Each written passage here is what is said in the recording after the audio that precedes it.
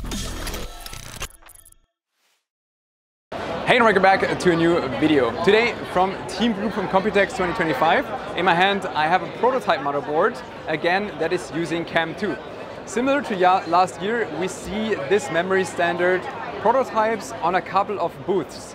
Even though neither the memory manufacturers nor the mainboard manufacturers seem to make up their minds yet if they want to turn this into a mass product or not. That is, it's strange, but we're covering it anyway. There's T-Create written on it. And there are other products here from T-Create that I want to show you, especially an SSD that can just physically kill itself. Meet the Endorfy ARX series, designed to offer great performance and cooling capabilities. With ultra mesh panels, room for up to 8 fans and support for big radiators, the ARX 700 and ARX 500 keep even the hottest builds cool. The ARX 700 fits latest top-of-the-line GPUs, massive coolers and long PSUs with ease. Need something smaller? The ARX 500 brings the same airflow design first in a more compact size. Both offer clean cable management, USB-C connectivity and tool-free maintenance. ARGB or stealth, you choose which style suits your build and your style the best. This is a prime example of what I like about CAMM2 as a concept. It just makes it look a lot different to what we are used to with the DIMMs. It just allows the cooling manufacturers or even the memory manufacturers to play around with different designs and cooling solutions, which is then different to what we normally see. Even though, at least at the current state, the CAMM2 seems not to be superior over DIMM. That is something I guess we have to see how things develop in the next years, but I hope sincerely that it will make it to the market.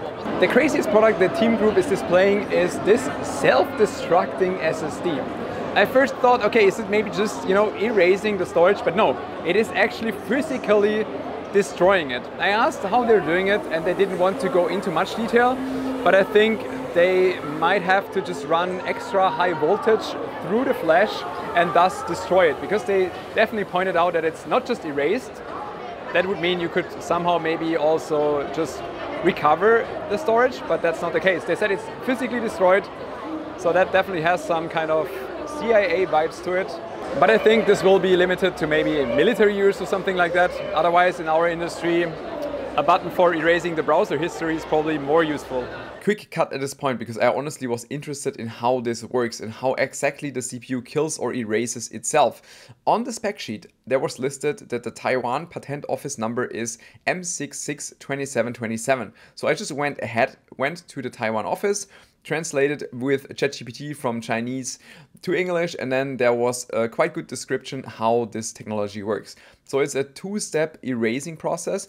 If you press the button short, then the software will just do a normal erase process. But if you keep the button pressed for a longer period, there is a DC to DC voltage booster built in. They're not exactly stating what kind of voltage they're using, but I would assume the default voltage of this SSD is probably either 3.3 or 5 volts, and then it's probably boosting to something like 10, 15, 20 volts or even more.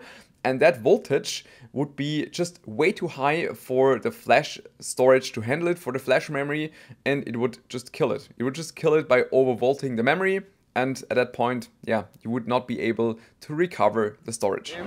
On this corner, Team Group is displaying CKD memory or CUDIMM. That means that uh, these memory modules, they have a small extra AC that is supposed to help the memory modules being more stable at a higher frequency. That's also why it's running on Arrow Lake.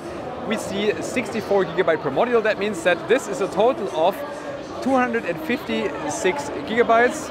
And I could just see it on here on the BIOS screen. Was showing 7200 mega transfers of speed with 256 gigabytes. Yeah, here we can see it. Another product of the crazy category is this AIO that is supposed to triple cool NVMe SSDs. And I'm not quite sure in which system you would actually use that, but if you ever have the need of running maybe three Gen 5 NVMe SSDs all the time under load, that might be your cooling solution. And we already have seen something quite similar last year, which is very similar to this. And this is something I could imagine that somebody would use in a system if you don't have sufficient cooling for your SSD through the motherboard, for example. Then this would cool both at the same time, your CPU and your NVMe drive. they're also quite heavily engaged in the SSD business, so they're displaying multiple different Gen 5 SSDs. We have ME and MA series, which are supposed to be for laptops. Then we have GE, GZ, and GA Pro. Those three are more for the consumer segment. The only difference on those three is the built-in controller, which will have different speeds, as you can see here, and thus also obviously a different price tag. What would be Computex 2025 without AI? And here we have another great AI cooling solution. It is the SSD with the so-called AI cooler. Now the question is, what the hell is that? They have this schematic right here, where on top you see some kind of casing, a fan underneath, a heatsink, then something with green and red, where I assume it's what they call thermoelectric cooling system design, which I would assume is a Peltier element, a TEC. But the thing is, when I wanted to see what is actually going on there, and I took a look underneath the SSD, I saw there's just absolutely nothing. Now I don't want to interpret too much into this because it could also just be a prototype or a concept, which then would make sense what wouldn't make too much sense if, if it's really TEC cooled, because then you would just pump heat into it.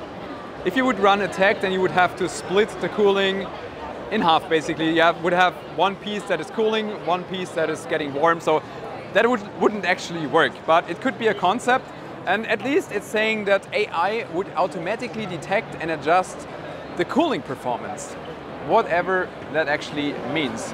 Now there might be some interesting background you should know. We are currently in the main hall of Computex and this year there was some extra regulation that only companies that do something related to AI can be in this hall. Now I can imagine a company like Team Group, which is probably not mainly doing AI components, they probably thought, so how can we get into this hall without actually doing AI products? So maybe this is just an extremely smart move of making it into the main hall. If that would be the case, not bad. To celebrate the Year of the Snake, a team group designed some snake skin styled DDR5 memory modules that unfortunately will not make it to the market, even though I think they look quite cool. And honestly, I would not have guessed that this is supposed to be snake skin. It's much more like a tech or like military tech camo style, which I think is at least something different, something interesting. Under the brand T-Create, Team Group also expands in a lot of different fields. For example, SSDs with built-in battery and built-in tracking function. So you could connect this with your Apple device and then use Apple Find My function to track it. If you ever lose it or if it's attached to something you want to keep track of. And I hope you enjoyed this video. That's the end from Team Group. Thanks for tuning in. Till next time. Bye bye.